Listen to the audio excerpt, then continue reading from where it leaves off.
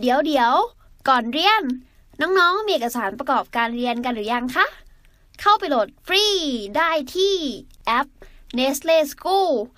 ทั้งใน iOS และ Android เลย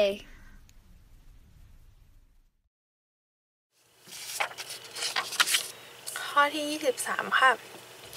What would most likely happen to the man in the end เขาบอว่ามันเนี่ย จะเกิดอะไรขึ้นเนี่ย อะไรที่มันน่าจะเกิดขึ้น likely คือน่าจะ น่าจะเกิดขึ้นเนี่ย to the man ก็คือเกิดขึ้นกับผู้ชายคนนั้นใน in the end ตอนจบนะคะ ตอนจบอะไรจะเกิดขึ้น อะไรน่าจะเกิดขึ้น ข้อหนึ่ง he would go back home ก็คือเขาเนี่ย จะกลับบ้านนะคะ ข้อสอง he would remain at the back of the line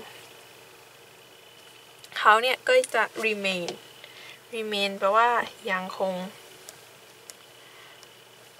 ยังคงอยู่นะคะ ยังคงอยู่ที่ the back of the line ปลายสุดของแถว ข้อ 3 he would wait until the line was shorter เขาเนี่ยจะรอเนี่ย จนกว่า until จนกว่าแถวเนี่ย มันจะสั้นลงเนาะ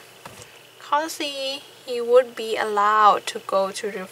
to go in front of the line and open the store เขาจะถูก allow นะ allow แปลว่าอนุญาตนะคะ อนุญาตไป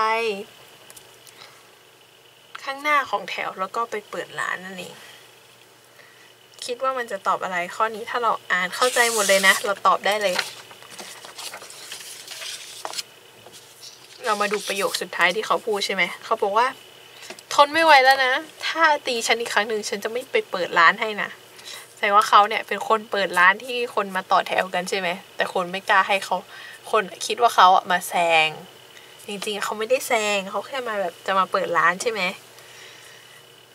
ดังนั้นเวลาเขาบ่นแล้วเขาไม่งั้นเขาจะไม่เปิดร้านให้นะ ถ้าไม่ให้ฉันไป พอคนได้อย่างนี้คนก็เริ่มรู้แล้วใช่ไหมว่าเขาเนี่ยเป็นคนมาเปิดร้าน ดังนั้นข้อนี้ตอบอะไร เขาจะยังคงอยู่ที่ปลายแถวก็ไม่ใช่ เขาจะรอจนกว่าแถวมันจะสั้นลง มันก็สั้นลงไม่ได้ปะเพราะว่าเขายังไม่ได้เปิดร้านเนาะ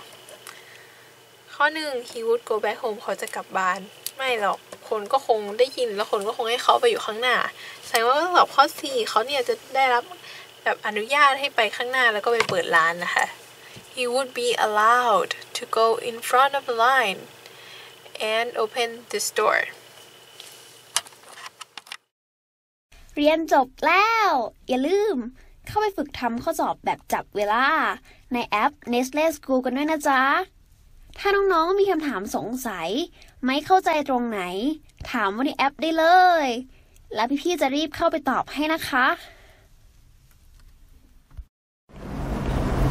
ขอเรียนแป๊บนะคะ